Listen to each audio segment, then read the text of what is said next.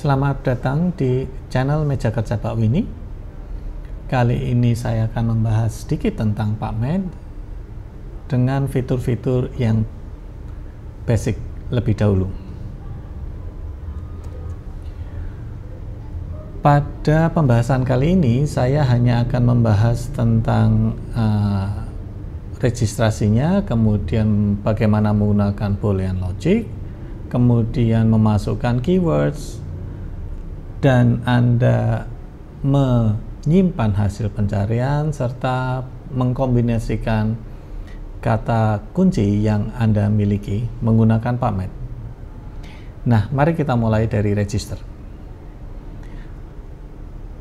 PubMed sendiri merupakan uh, sebuah forwarding yang alamannya sebetulnya cukup panjang yaitu ncbi.nlm.nih.gov/pubmed. Nah, pertama kali Anda silahkan untuk meregister. Ini adalah tampilannya. Uh, silahkan klik sign in di pojok kanan atas dan silahkan ikuti proses registrasinya.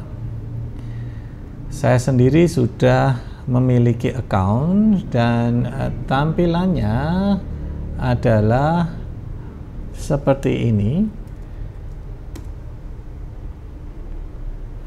Ada nama Anda di pojokan kanan atas. Kenapa sih kita harus meregister? Ada dua keuntungan yaitu satu bahwa history search Anda itu bisa tersimpan boleh dikatakan selamanya. Sedangkan kalau Anda tidak meregister itu dalam waktu 24 jam akan hilang. Apa kepentingannya history tersimpan lama? Karena di kemudian hari di suatu saat Anda membutuhkan apa sih yang pernah kita cari Anda masih akan bisa mentrace. Kedua yang saya senang adalah saya bisa menyimpan kombinasi kata kunci ke dalam directory saya. Dan itu bisa direvisit kemudian ditambahin uh, atau dikurangi sesuai dengan kebutuhan di kemudian hari. Mari kita melihat uh, Boolean method. Kita perkenalan dulu dengan Boolean. Boolean sendiri adalah sebuah metode pencarian kata kunci yang menggunakan word or, and, dan, uh, not. Jika kita melihat contohnya misalnya, doctors di sini adalah female. Jika kita kenai kata kunci or, maka sebetulnya yang akan muncul adalah semua kata kunci, semua articles yang mempunyai kata doctors maupun female ataupun artikel yang mempunyai doctors dan female akan keluar di pencarian. Jika Anda menggunakan kata kunci yang sama, doctors dan female,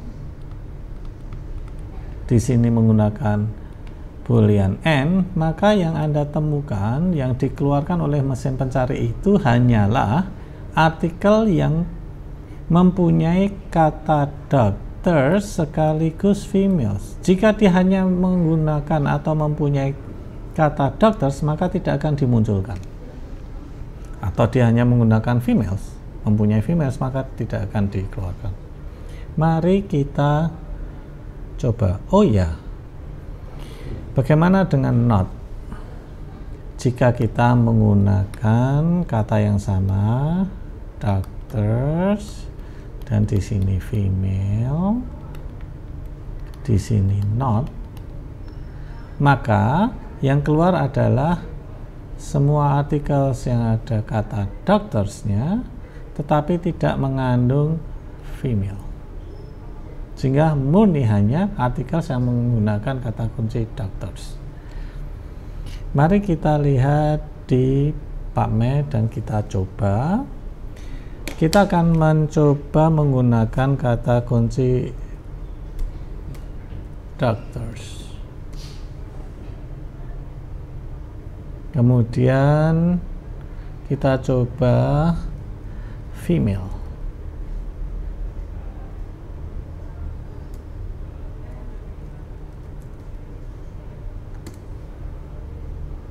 Bagaimanakah mengkombinasikannya?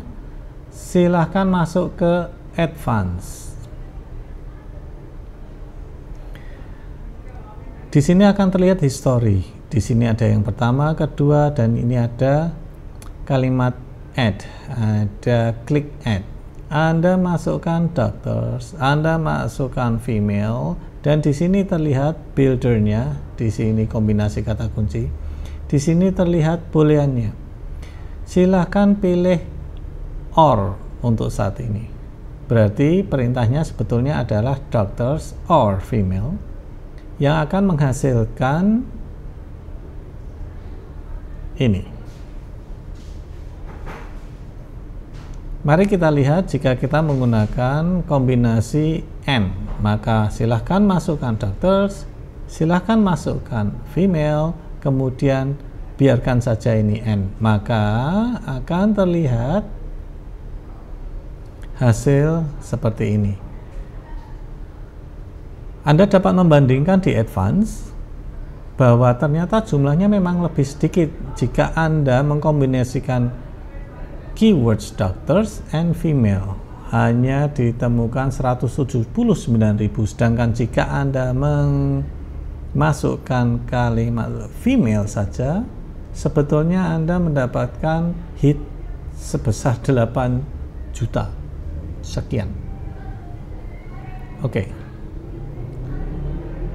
Itu pada dasarnya menggunakan basic search. Bagaimana jika kita mengkombinasikan beberapa keywords? Bagaimanakah mengkombinasikannya? maka akan saya perlihatkan seperti ini mari kita masuk kembali kita lihat di PubMed. Anda masih harus ingat tentang OR dan AND maka mari kita lihat. Pada doctors. Sebetulnya doctors mempunyai kata kunci lain yaitu physicians.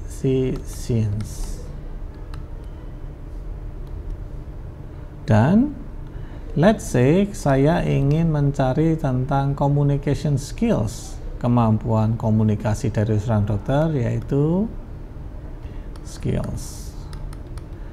Nah apa saja sih yang dilakukan oleh uh, doctors ketika melakukan communication skills? Consultation. History taking apalagi bagus. Misalnya breaking bad news. Ini hanya contoh saja. Mari kita lihat. Ini adalah kata selain doctors yaitu physicians. Mari kita masukkan dua kelompok kata kunci ini ke dalam PubMed.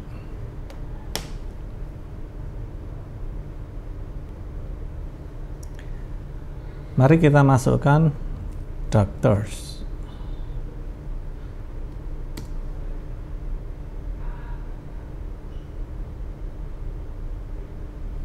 Kemudian kita masukkan V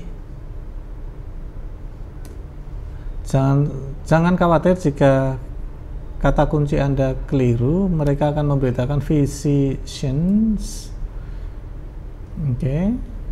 Search. Nah Anda harus ingat bahwa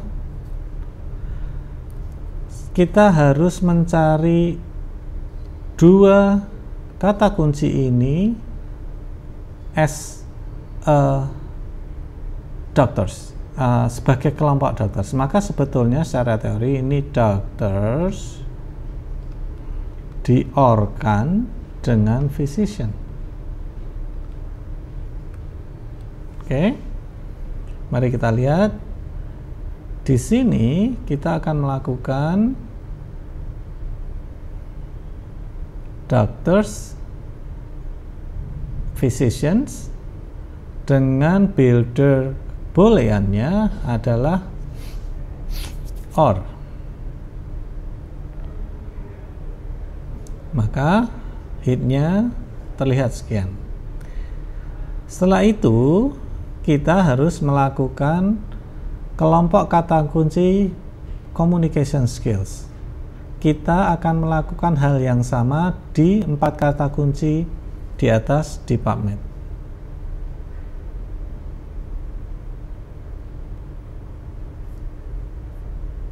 Kita masukkan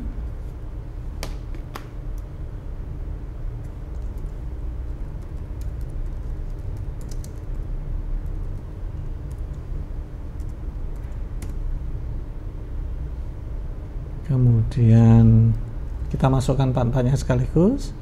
Consultation. Kemudian apa tadi? Break, breaking bad news. Kemudian tadi history taking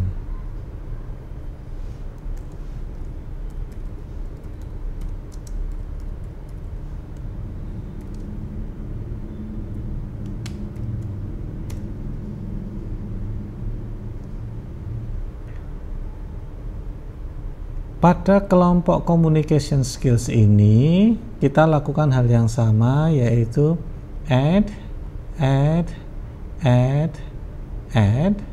Jangan lupa di sini adalah or. Nah, silakan Anda lakukan search. Ini adalah hasilnya. Saya akan mencoba jelaskan teorinya di sini yaitu bahwa ketika Anda punya koleksi kata keywords doctors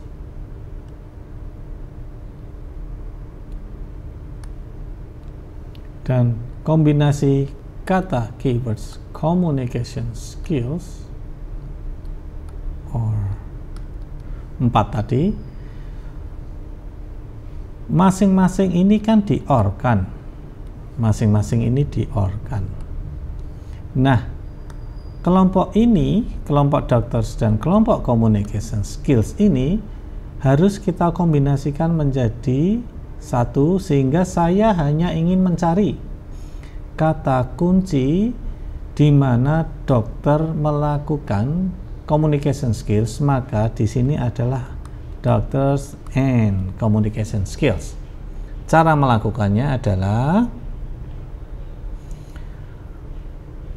Silahkan lihat di advance. Di sini terlihat bahwa nomor 8 dan nomor 3 adalah kumpulan. Nomor 3 adalah kombinasi kumpulan antara himpunan doctors. Yang nomor 8 adalah himpunan communication skills. Sehingga nomor 3 saya masukkan himpunan doctors dan saya masukkan himpunan communication skills. Sehingga yang saya dapatkan jika kita search, maka sebetulnya adalah Anda mencari komunikasi yang dilakukan oleh dokter. Lihat, sangat spesifik. Anda mendapatkan 37.000 artikel. Nah, menarik bukan? Yap. Hasil ini sebetulnya bisa Anda simpan sehingga Anda bisa gunakan lain waktu. Caranya gimana? Create alert.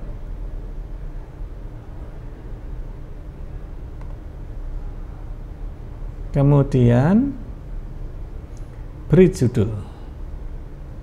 Ini adalah judulnya.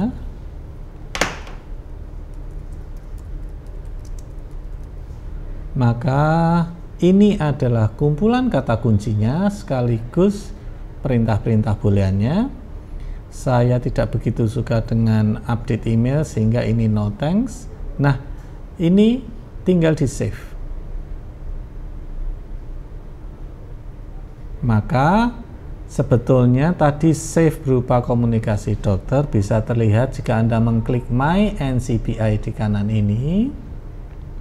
Dan Anda lihat di sini save search bahwa Anda mempunyai kata kunci komunikasi dokter. Jika ini saya klik, maka akan keluar pencarian komunikasi dokter dengan kombinasi kata kunci yang sudah kita tentukan tadi. Mudah bukan sehingga Anda bisa mengakses kembali apa yang sudah Anda cari sekian tahun ke depan. Nah, ada satu hal yang unik yaitu ketika menggunakan PubMed di sini ada review di sebelah kiri ada review clinical trial customized abstract free full text full text dan lain sebagainya kalau Anda mengklik memilih free full text, berarti Anda hanya akan menampilkan nantinya di sini artikel yang mempunyai full text gratis. Di sini full text saja, tapi bisa jadi nggak gratis. Atau di sini silahkan abstrak saja. Nah, kalau saya klik review, ini filtrasi, anda akan menemukan bahwa yang ditampilkan di sini adalah artikel-artikel review yang berkaitan dengan topik yang kita cari. Namun, saya mempunyai tips lain yang saya lebih suka yaitu caranya begini. Uh, ini saya undo sehingga semua dipilih. Saya akan masuk ke advance Kemudian saya masukkan nomor 9 yaitu kombinasi antara doctors and communications. Oke. Okay. Kemudian N saya gabungkan, saya hanya akan mencari di title-nya saja bahwa artikel tersebut haruslah menggunakan kata review di title-nya. Jika kita search Hasilnya sejumlah 768 artikel. Nah, saran saya jika Anda akan belajar sebuah topik baru, silahkan menggunakan metode ini, yaitu mencari kata kunci, kemudian bacalah review paper lebih dahulu.